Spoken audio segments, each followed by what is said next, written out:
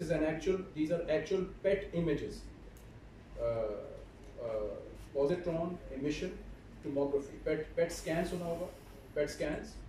In thyroid disease, they do do a lot of PET scans just to see what's going on based on a radioactive material which is injected and then a PET camera which picks up gamma radiation which is emitted from that substance.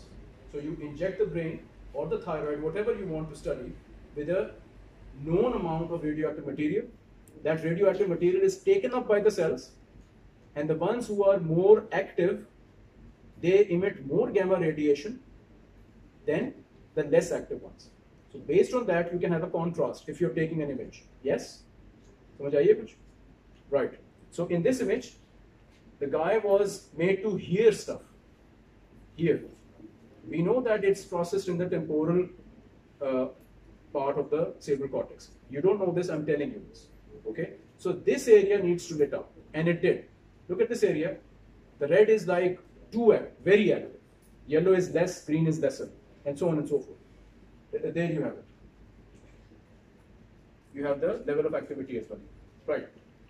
This is the whole image of the areas involved in hearing. While the direct hearing is only dealt by this area here. What about this area, this, this, this, and this? Why did they lit up? How did they lit up? Physically, anatomically? We don't know. But this is what happens. Then, and remember, these research, this research is important because if you can't see it, you don't know what to do.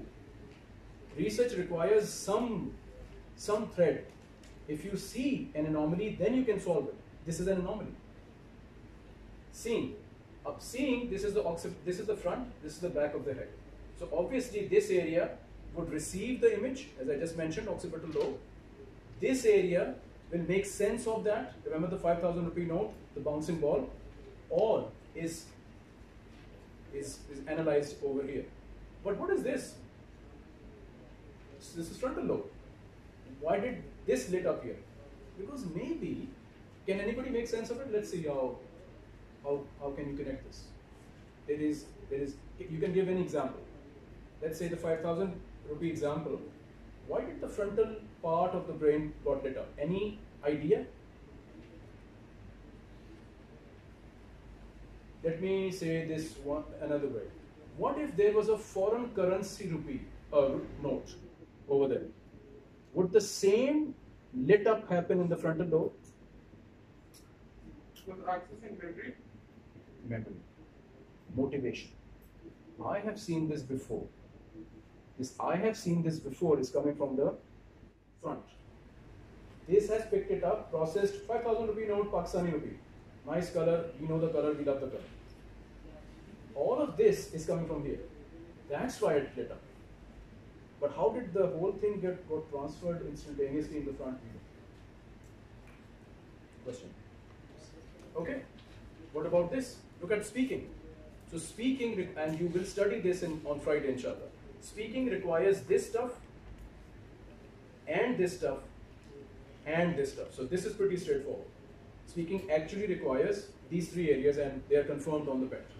Thinking. Check this out. What happens in thinking? In thinking, of course, this area is very active. But what's going on here? What is this? What is this, by the way? Go on. I've taught it yesterday. What is this area? Come on. Posterior parietal cortex, PPC. Yes. The, the coordinates only got, right? The occipital lobe Yes?